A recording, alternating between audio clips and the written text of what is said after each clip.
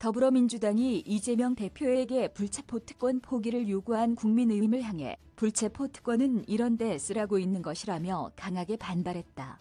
민주당 김희경 대변인은 19일 국회 브리핑에서 불체포 특권은 형사권을 악용한 정치 공작을 막기 위해 헌법이 국회의원에게 부여한 것으로 당사자가 포기하고 말고를 결정할 수 없다며 이같이 말했다.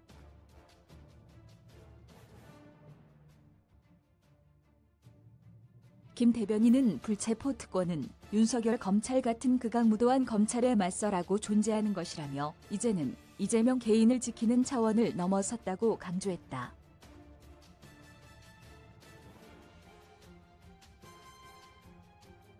그는 이날 오전 국민의힘 주호영 원내대표의 기자회견 발언을 언급하며 주 원내대표는 이 대표의 증거인멸 우려가 현실화했다고 주장했다.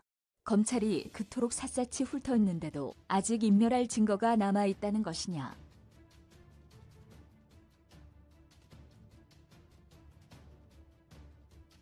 검찰의 무능함만 자백하는 꼴이라고 지적했다.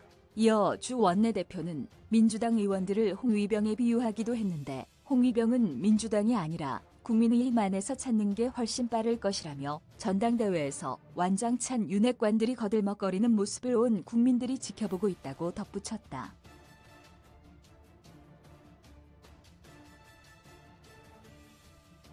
이수진 원내대변인 역시 국회 브리핑에서 주 원내대표는 증거인멸 우려를 운운하며 이재명 대표의 구속을 주장했다. 국정과 민생을 살펴야 할 여당 원내대표가 윤석열 검사 독재 정권의 포갑 통치 돌격대장을 자임했다고 비판했다.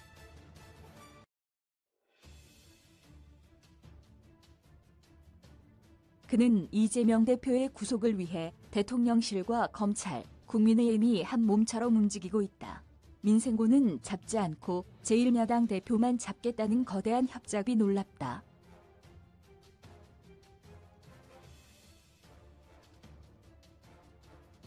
이것이 주 원내대표가 말하는 정치의 신뢰 회복이냐. 야당을 말살하고 협치는 누구에게 구하겠다는 것이냐며 목소리를 높였다. 또 이 원내대변인은 대통령실은 살라미 구속영장 청구 전략으로 배후 조종하고 검찰은 카더라 영장 청구서로 야당 대표를 올감했다.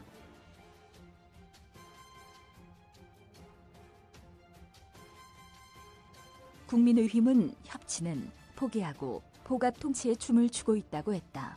한편 여야는 금명간 국회에 제출될 것으로 보이는 이 대표 체포 동의안을 오는 27일 본회의에 상정, 표결 처리하기로 합의했다.